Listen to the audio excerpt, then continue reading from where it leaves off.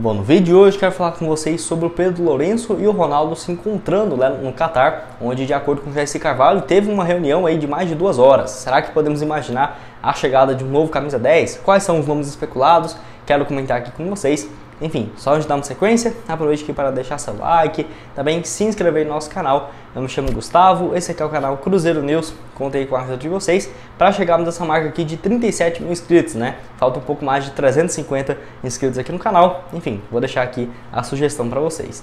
É, antes de darmos sequência, tem um recado também da SSS Game Brasil, casa de apostas esportivas, que eu quero destacar a opção de você apostar em quem vai ser o artilheiro aí do Brasil nessa Copa do Mundo. Só da seleção brasileira, tá? Não do torneio em geral. Então, uma, por exemplo, o Richardson, que é o artilheiro com dois gols, tá pagando aí 1,25 caso ele seja o artilheiro do, do, do, Brasil nessa Copa do Mundo, 1,25 a cada real apostado. Tem também o, o Vinícius Júnior pagando 9 reais a cada real apostado, ele que não marcou nenhum gol até aqui. O Neymar também não marcou nenhum gol, pagando 11 reais a cada real apostado. Rafinha 17 e o Casemiro que já marcou um gol, pagando 26 reais a cada real apostado. Para você apostar nessa e em outras partidas também, outras opções para você fazer uma renda extra, eu vou deixar o link da SSS com o meu código né, de cupom para você pegar e começar a aproveitar, tá aqui embaixo na descrição. E caso você queira se tornar um agente da SSS, eu vou deixar aqui as vantagens que, que, você vai ter, ter por um percentual de cada movimentação, né, para cada pessoa que você trazer para dentro da plataforma e também o link do Telegram deles aqui embaixo para você entrar e tirar todas essas suas dúvidas de como se tornar um agente, né, da SSS. Bom, então vamos lá, né? É, essa foto aí que foi divulgada pelo próprio Jair Carvalho do Estado de Minas e do Super Esportes, o colunista, que divulgou, né, esse encontro que teve entre o Ronaldo e o Pedrinho, que se reuniram por mais de duas horas em um, Qatar, é, em um hotel de luxo lá no Catar, antes dessa partida da seleção brasileira, na sexta-feira, às 4 horas, contra o Camarões. No caso, o gestor principal do Cruzeiro conversaram por mais de duas horas, junto com Pedro Lourenço, no hotel Farmont Doha, reservado pela FIFA para convidados apenas da Copa do Mundo. E o Pedro Lourenço também passando, né, é, no caso, esse período de férias, lá na, assistindo jogos da seleção da Copa do Mundo, encontrou aí com o Ronaldo, que desde o, de quando começou o torneio já estava no Catar, até por conta de ser um astro né, do futebol mundial da seleção brasileira, postando todas as, as atualizações lá no seu Instagram do Ronaldo e também na Ronaldo TV. Né? Então, essas fotos foram divulgadas e informação desse encontro do Jair Carvalho. Lembrando, não tivemos nenhuma atualização do que foi conversado nessa reunião, né? Mas todo mundo meio que tem em mente é, vários tópicos importantes envolvendo o Cruzeiro e também essa chegada de um camisa 10. Até porque o Pedro Lourenço já disse isso várias vezes e para o próprio Jair Carvalho há cerca de seis dias, né? Ele falou que é o seguinte para o Jair no seu canal aqui no YouTube. Eu já tinha prometido um camisa 10 para o Ronaldo e acabou que não foi necessário. Mas se ele precisar, eu trago. Eu falo com o Gabriel Lima e com o Ronaldo e esse camisa 10 a torcida tem que buscar no aeroporto, hein? Se não for, aí não é comigo. Risos, né? Aí do Pedro Lourenço. Então quero comentar aqui com vocês. Claro que tem o Matheus Vital aí muito bem encaminhado para se tornar um novo, um novo jogador, quem sabe para ser o camisa 10, não teria todo esse impacto, né, na minha visão. O Matheus Vital não chegaria para parar o aeroporto. Mas tem algumas boas opções sim no mercado, que eu quero falar com vocês, até alguns nomes, né, que já foram especulados, que eu vou comentar aqui um pouco mais. Bom, quero começar aqui falando sobre o Alex Telles, o jogador que. É, o Alex Telles não, Alex Teixeira, né? Melhor dizendo, Alex Teixeira de 32 anos, que foi especulado recentemente que o Cruzeiro havia procurado né, informações dele para saber se poderia é, ser uma proposta viável ano que vem ou não para a disputa da Série A. Só lembrando que o teto máximo que se o Cruzeiro fosse trazer um jogador seria ali de 350 mil por mês. Então vamos supor que um atleta queira ganhar, sei lá, 700 mil. Quem sabe o Pelorense não pagaria esses 750 e o Cruzeiro com a outra metade? Poderia ser uma opção também. O Alex Teixeira que foi especulado por conta do contrato dele com o Vasco que se encerrou depois da disputa da Série B. Foram 15 partidas, dois gols e uma assistência. E olha que o Alex Teixeira, mesmo com um salário altíssimo, é o nome mais viável aqui desse vídeo, né? Porque os outros, na minha visão, muito difícil de chegarem. O, o Alex Teixeira que jogou muito tempo no Shakhtar, teve boas temporadas realmente, igual 2015, 2016, com a média de 22, 26 gols marcados por temporada. Jogou também mais 4 anos e meio lá no futebol da China é, e estava no início desse ano pelo Besiktas da, da Turquia. 31 partidas por lá, 4 gols antes de voltar para o Vasco. Quero saber a sua opinião aqui também. O que, que você acha do atacante?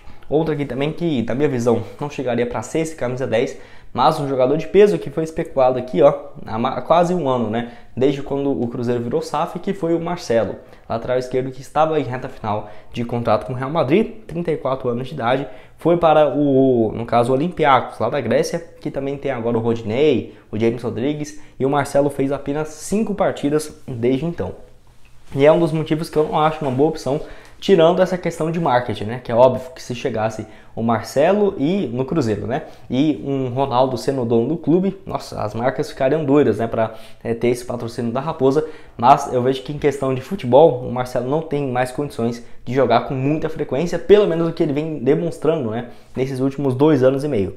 Para você ter uma ideia, na temporada 2020-2021, apenas 19 partidas pelo Real Madrid e 4 assistências. 2021-22, 18 partidas e 2 assistências. E agora apenas 5 jogos pelo Olympiacos. Tem até alguns rumores lá na Grécia de que é, a equipe do Olympiacos não está muito satisfeita com o Marcelo e até teria interesse né, de é, rescindir com o jogador para ele jogar em uma outra equipe. Quero saber o que você acha também sobre o atleta de 34 anos. Outro meia, que na minha visão muito bom, tá? Que poderia chegar aqui no Cruzeiro, né? É, se fosse para ter essa contratação, o Juan Quinteiro, jogador de 29 anos, que pediu uma proposta financeira próxima dos 100 mil dólares livres de impostos, né? Para o jogador, algo próximo dos 530 mil reais, dependendo da cotação. E isso para o Cruzeiro custaria no mínimo uns 800, 830 mil reais por mês por conta dos impostos e tudo mais em cima do salário do jogador. Então não seria uma contratação barata, mas se tivesse a ajuda do Pedro Lourenço, nossa, eu aceitaria tranquilamente. Acho que seria um jogador de peso mesmo para chegar aqui na Raposa. Fora que ainda tem essa questão que ele tem um ano de contrato com o Shenzhen FC lá da China, onde ele está emprestado por River Plate. Foram 36 partidas no ano, 7 gols e 7 assistências, uma média de participação em é, um gol, né, ou assistência a cada 2,35 jogos. Então, uma média bem interessante do ranking, do ranking inteiro nessa última temporada. Lembrando que ele já foi muito bem pelo River Plate, ganhando, ali, ganhando títulos da Libertadores, ficou do clube de 2018 até 2020, somando aí mais do que é, 68 partidas com 14 gols marcados e também outras 8 assistências. Jogador que já passou pelo Porto de Portugal, o Rennes da França, Independente Medellín da Colômbia e também o Pescara e Atlético Nacional. No caso, o Pescara da Itália e o Atlético Nacional também da Colômbia. Quero saber o que você acha aí do, do ranking inteiro, se seria uma boa opção ou não, né, para o Cruzeiro. Nossa, na minha visão, um ótimo jogador, tá? Se chegasse, ele ia ficar muito satisfeito. Acho que é a cara do Cruzeiro, ainda mais para essa opção de ser um camisa 10. Outro aqui também colombiano, esse aqui muito fora da realidade, só vou comentar aqui porque ele tá na capa do vídeo, que é no caso do James Rodrigues. Muita gente já especula ele aqui no Cruzeiro, né, há muitos anos, 31 anos de idade e realmente, né, tem caído demais a sua carreira. Basicamente, o último ano dele bom foi na temporada 2017 2018 pelo Bayern de Munique. Naquela ocasião ele fez 39 partidas, 8 gols e 14 assistências. Depois rodou ali pelo Real Madrid, voltou de empréstimo, né? 2019-2020, apenas é, 14 jogos, 1 gol e 2 assistências. Foi para o Everton da Inglaterra, não foi mal na Premier League, 26 partidas, 6 gols e 8 passes e foi jogar lá no Al Rayyan, lá no Qatar. Então, obviamente, tem um salário monstruoso, né? Ficou lá durante 3 anos, somou aí apenas 16 partidas, 5 gols e 6 assistências, 2 anos e 2 meses aproximadamente, e agora está também no Olympiacos lá da Grécia, onde soma 8 jogos, 2 gols e 2 assistências. Para falar a verdade, não acho que o salário do James Rodrigues seja dentro da realidade de nenhum time no Brasil. Acho que no mínimo que ele ganharia seria uns 3, 4 milhões de reais, isso chutando bem baixo, tá? Até por conta de ser um jogador é um camisa 10 aí de peso mesmo do futebol mundial. Acho bem difícil de pensar nele, ainda mais no Cruzeiro nesses próximos anos né, de reconstrução. e os últimos dois aqui desse vídeo, que o Cruzeiro, de acordo com algumas informações, como por exemplo é, alguns portais do Flamengo, realmente demonstrou interesse, consulta para saber informações. O primeiro, o ponto aí, o Marinho, né, de é, atacante de 32 anos de idade, que no caso o Cruzeiro teria o interesse de observar né, se o jogador vai ficar no Flamengo, se o Flamengo toparia, por exemplo, um empréstimo para o ano que vem, que é algo que se o Flamengo tivesse interesse em emprestá-lo, pagando metade do seu salário, seria viável. Mas a questão é, isso basicamente bem difícil de acontecer, ainda mais por ser o último ano dele de contrato né, com a equipe do Flamengo. Foram até aqui, pelo o Marinho pelo clube, 43 partidas, 6 gols e 6 assistências. Números bem razoáveis para o Marinho, que já teve bons momentos né, com a camisa do Santos. Por exemplo, na temporada de 2020 foi muito bem, 43 jogos, 24 gols marcados e 8 assistências. Um bom jogador realmente aí o Marinho. que é, já teve uma passagem muito ruim pelo Cruzeiro, né? Que sempre quando ele é especulado aqui, muita gente pega no pé, justamente por conta daquele ano de 2015 que não foi nada bem, 12 partidas, um gol marcado, não foi bem realmente esse desempenho. O Marinho que tinha acabado de chegar do futebol lá do, do Ceará, né? Realmente não foi bem, mas no ano seguinte, em 2016, fez 21 gols em 46 partidas pela equipe do Vitória, né? Antes de jogar também ali pelo futebol da China, depois rodou pelo Grêmio, Santos e agora no Flamengo. Só lembrando que a equipe carioca pagou algo próximo de 7 milhões e 300 mil reais para tirar ele do Santos, onde tinha ainda mais um ano de contrato, então acabou pagando essa pequena compensação financeira.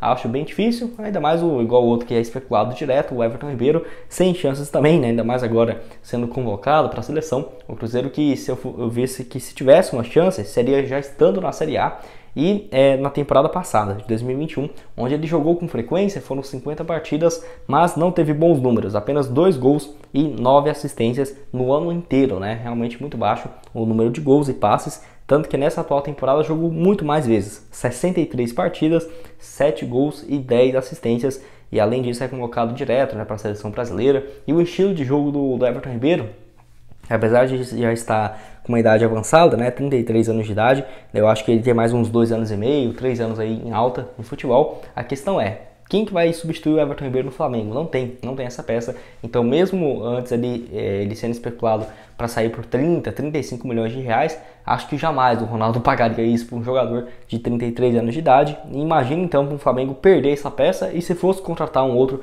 com características, não seria por menos do que 60, 70 milhões de reais. Então, Everton Ribeiro acho bem difícil voltar ao Cruzeiro, para falar a verdade, mesmo daqui a alguns anos, que acabe o contrato e tudo mais, acho bem difícil. Quero saber a sua opinião aqui embaixo nos comentários, se você concorda, discorda, enfim, estou curioso para saber a sua opinião sobre esses nomes aqui especulados no Cruzeiro e quem que você acha que poderia ser esse camisa 10 para chegar no aeroporto, um jogador um pouco mais viável, né? Até porque quando fala assim um jogador desse nível, é sempre tem uma expectativa muito grande, mas eu acho bem difícil, bem viável mesmo de pensar em um grande nome assim para o Cruzeiro no ano que vem. Bom, esse foi o vídeo, espero que tenham gostado. Não, esque não se esqueça aqui de deixar seu like, também se inscrever em nosso canal, ajudar nós a chegar a essa meta aqui de 37 mil inscritos, que já está bem próxima. Conto com a ajuda de cada um de vocês. Vou deixar aqui na tela final também outros vídeos que já trouxemos aqui no canal recentemente sobre algumas especulações do nome, é, de alguns nomes do mercado da bola e o link aqui embaixo na descrição dá um xbet para você utilizar aqui meu cupom CruzeiroBet e ter 100% de bônus no valor do seu primeiro depósito. Valeu, galera!